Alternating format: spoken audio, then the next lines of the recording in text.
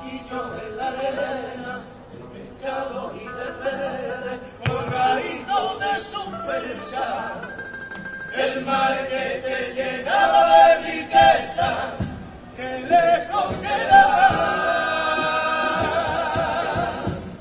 Salió, salió.